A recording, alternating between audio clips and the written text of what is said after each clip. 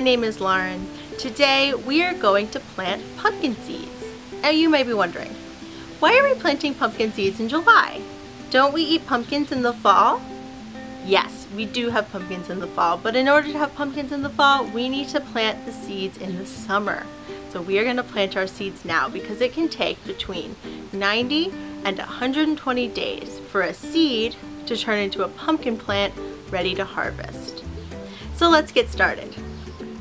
Today I am going to show you how to plant your seed either in the garden or the container that the pumpkin is going to live in like a garden box or a raised bed or in a smaller container where it can grow until it gets big enough to plant in your garden or raised bed. I'm going to show you both today and we're going to get started with planting our seeds in a small container. Here's what you'll need to plant your seed in a small container. You'll need a paper cup, some water, a pencil, your seeds, and of course some soil. Let's get started. First, poke a small hole in the bottom of the cup. This is so the water can drain out of the cup. Next, fill your cup with soil. Now we are going to dig out a spot for the seed and drop it in. Next, cover up your seed with soil. Finally, water in the seed and keep the cup in a sunny place. Remember, your seed needs plenty of water and sunshine to grow, so make sure it has lots of light and that you water it every day. Alright, so now that we've learned how to plant our seeds in a smaller container, we are back here at the garden and I'm going to show you how to plant your seeds in the ground.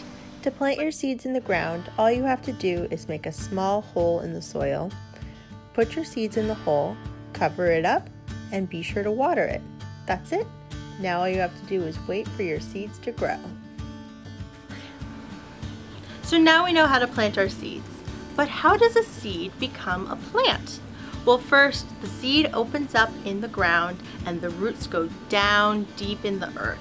Those roots pick up water and nutrients that your plant needs to grow big and strong.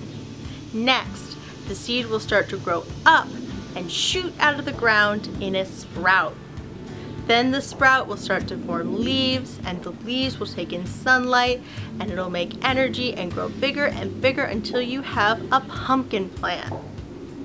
Next time, we're gonna learn how to plant those little plants we planted in a cup in the garden. See you then. Thanks so much for watching.